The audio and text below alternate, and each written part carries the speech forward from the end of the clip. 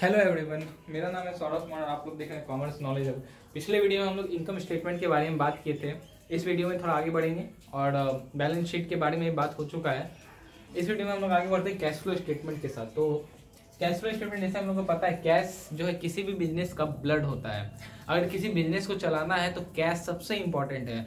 अगर मान के चलिए किसी भी बिज़नेस में बहुत ही सारा करेंट एसेट्स है या फिर बहुत ही बड़ा बड़ा एसेट्स है लाइबिलिटी भी उसकी कम है, लेकिन अगर ये नहीं है ना बिज़नेस में तो बिज़नेस चल नहीं सकता है। उसे चलने में बहुत दिक्कत होगी। ऑपरेटिंग लेवल पे उसे बहुत दिक्कत होगी। कहीं इन्वेस्ट करना है पैसा, उसमें भी उसको दिक्कत होगा। फाइनेंस करने में पैसा तो उसके पास खुद कैश नहीं है। तो वो क्या अपना ऑपरेट ऑपरेशन संभालेगा? और अगर किसी बिज़नेस का ऑपरेशन नहीं चल सकता है तो फिर वो बिज़नेस ही नहीं चल पाएगा।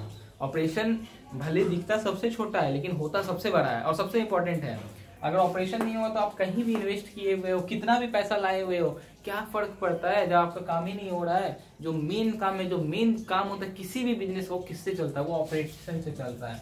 ऑपरेटिंग से वो काम होता है। जब ऑपरेट ही नहीं कर पाओगे क्योंकि कैश ही नहीं है और कैश सबसे ज़्यादा इंपॉर्टेंट होता है ऑपरेट करने के लिए। इसीलिए कैश का क्या कहा जाता है? ब्लड ऑफ़ बिज़नेस किसी भी बिज़नेस का। तो अगर हम लोग कैश फ्लो स्टेटमेंट के बारे में बात करें तो हमेशा ध्यान रखना है पे सिर्फ़ कैश आइटम आएगा। और कुछ नहीं आएगा। अगर कोई नॉन कैश आइटम आ चुका है, अगर वो एक्सपेंस है तो उसको ऐड करेंगे, अगर वो इनकम है तो उसको सब्ट्रैक्ट करेंगे। और कहाँ करना है, आगे डिस्कस करेंगे उस चीज़ को। तो अगर कैश फ्लो स्टेटमेंट के बारे में बात करें तो कैश फ्लो स्टेटमेंट को तीन पार्ट में डिवाइड किया गया ऑपरेटिंग इन्वेस्टिंग और फाइनेंसिंग क्योंकि कोई भी बिज़नेस में यही तीन पार्ट होता है। और कुछ एक्सेस नहीं होता। अगर किसी भी बिज़नेस को अगर आपको चेक करना है तो तीन ही चीज़ों का ऑपरेटिंग कैसा है उसका इन्वेस्टिंग कैसा है और फाइनेंसिंग कैसा है। और ये तीनों में पैसा कितना है? बस यही देखा जाता है कैश फ्लो स्टेटमेंट में। कैश फ्लो स्टेटमेंट बहुत लोग को डर लगता है कैश फ्लो स्टेटमेंट कैसे बनेगा?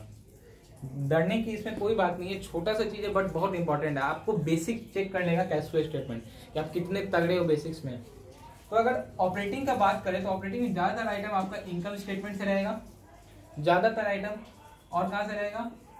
Current assets and current liability most of the item आपका income statement current assets and current liability का होगा ऑपरेटिंग से रिलेटेड क्योंकि क्यों होगा?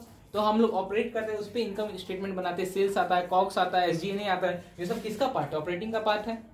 आप रेंट पे करते हो प्रीपेड करते हो किसमें जाएगा? करंट एसेट्स में लॉन्ग टर्म एसेट्स तो नहीं है वो, जो यहाँ पे आता है. इन्वेस्टिंग एक्टिविटी कहीं आप इन्वेस्ट कर रहे हो, अपना पैसा दे रहे हो वो आपके लिए क्या होगा? एसेट होगा.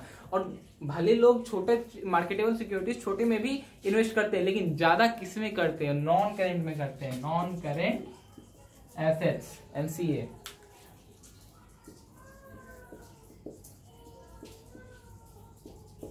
non current assets में ज़्यादा हम लोग इन्वेस्ट करते हैं। कहीं भी आप किसी को लोन देते हो तो लॉन्ग टर्म देते हो इन्वेस्टमेंट कहीं करते हो तो वो लॉन्ग टर्म होता है।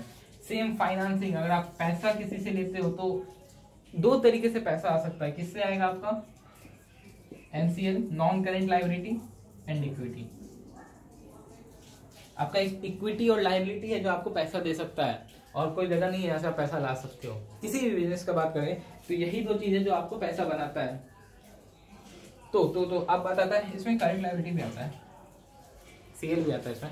अब छोटा मोटा पैसा भी लेते हैं तो वो भी इसमें आता है फाइनेंसिंग में आता है। तो ये बेसिक है आपको कैश फ्लो समझने के लिए कि कौन कहाँ से आता है। अभी हम सबसे पहले ऑपरेटिंग देखेंगे नंबर वन फिर इन्वेस्टिंग देखेंगे और फिर फाइनेंसिंग देखेंगे। तो बहुत सारा डाउट डिविडेंड्स का रेंट का इंटरेस्ट का इंटरेस्ट रिसीव हुआ इंटरेस्ट पे हुआ डिविडेंड रिसीव हुआ डिविडेंड पे हुआ तो इससे बहुत कंफ्यूज होता है। तो हम लोग प्रॉपर उसको ऑपरेटिंग में देखेंगे इन्वेस्टिंग में देखेंगे, कहाँ, कैसे, क्या होता है सेल हो रहा है तो क्या होगा, उसको देखेंगे। तो हम लोग स्टार्ट करते हैं सबसे पहले ऑपरेटिंग के साथ।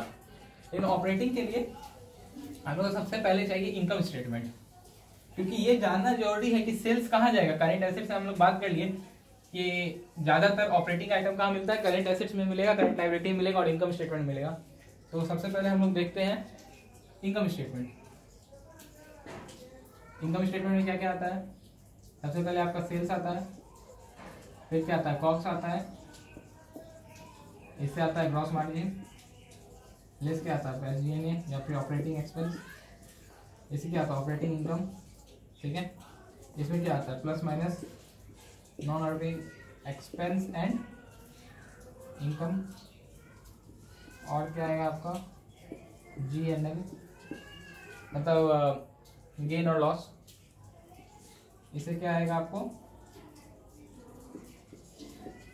Income from continuing operation before tax less tax same cheese after tax तो हम लोग यहीं तक देखेंगे। इससे आगे बढ़ने की ज़रूरत नहीं तो जब ऑपरेटिंग का बात करें एक्टिविटी तो सबसे पहला चीज़, अगर हम इनकम स्टेटमेंट उठाते हैं तो क्या है यहाँ पे? सेल्स है।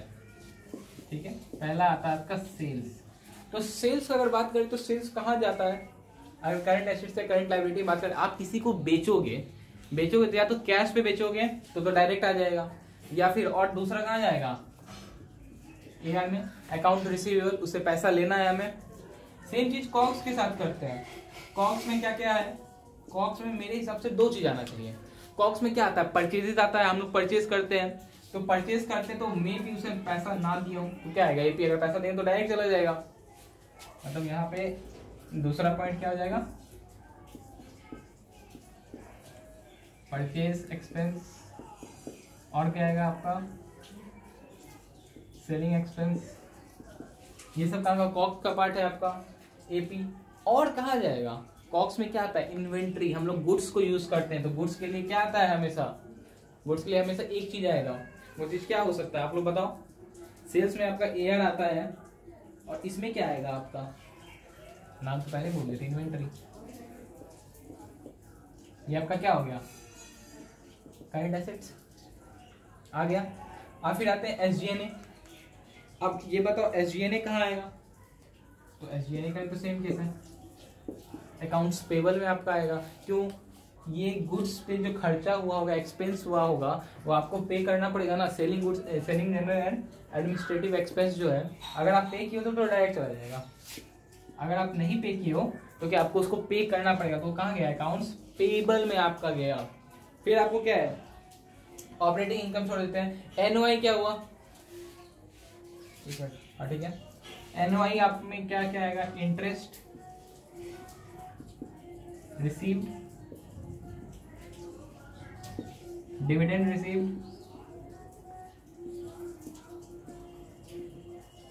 और क्या आएगा? Interest paid. ये सब क्या है? ये तीनों जो आपको हुआ interest receive interest dividend receive interest paid. ये तीनों आपका जाता है एनओआई नॉन ऑपरेटिंग इनकम में आपका आएगा interest receive dividend receive interest paid कहा जाएगा? नॉन ऑपरेटिंग एक्सपेंस में आपका। यहाँ पे एक चीज़ छूट रहा है। वो क्या छूट रहा है? डिविडेंड पेड तो ये कहा जाता है? इसको हम लोग बाद में डिस्कस करेंगे। ये तीनों आता है आपका ऑपरेटिंग में। और ये डिविडेंड पेड क्यों नहीं आता है? उसको हम लोग डिस्कस करेंगे जब हम लोग जाएँगे फाइनेंसिंग में। तब तक के लिए इसको इतना रखते हैं। ये तीनों आपका आएगा कहाँ पे? नॉन ऑपरेटिंग अच्छा इसको देते हैं। नॉन ऑपरेटिंग इनकम में और नॉन ऑपरेटिंग एक्सपेंस में। अब फिर क्या आपका टैक्स तो टैक्स क्या हो सकता है? या तो सी ए भी हो सकता है या सी एल भी हो सकता है। करेंट एसेट भी हो सकता है करेंट लाइबिलिटी भी हो सकता है। हो सकता है आप टैक्स पहले पे कर चुके हो। एडवांस में हो सकता है टैक्स पेबल भी हो।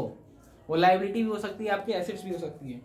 तो ये सारा चीज़ है जो आपका इसमें आता है। अगर बुक्स के हिसाब से देखें तो कलेक्शन ऑन सेल्स हो गया कैश पेमेंट फॉर कॉक्स हो गया आ, फिर आपका इंटरेस्ट रिसीव हो गया इंटरेस्ट पे डिविडेंड रिसीव हो गया।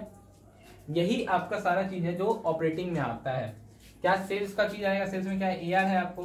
कॉक्स में क्या है? इन्वेंट्री है एपी है। और फिर एस में क्या आएगा? आपका एपी आएगा। इसको अब बात आता है कि सॉल्व कैसे करना है? ये तो समझ गए कि ये सारा चीज़ आता है। आप देखो क्या है, अगर इंटरेस्ट रिसीव है तो क्या होगा? ऐड होगा। डिविडेंड रिसीव है तो क्या होगा? ऐड होगा। इंटरेस्ट पेड तो क्या होगा? सब्ट्रैक्ट होगा। ये सब सारा चीज़ आपका किसका हो गया ये? सॉरी ऑपरेटिंग एक्टिविटी ये सारा चीज़ आपका ऑपरेटिंग एक्टिविटी में आएगा, इसके अलावा और कुछ नहीं आएगा। इतना ही था आपका ऑपरेटिंग एक्टिविटी बहुत ही सिंपल सा है, छोटा सा है ऑपरेटिंग एक्टिविटी आपका। नेक्स्ट वीडियो में हम लोग बात करेंगे इन्वेस्टिंग एक्टिविटी और फाइनेंसिंग एक्टिविटी के बारे में।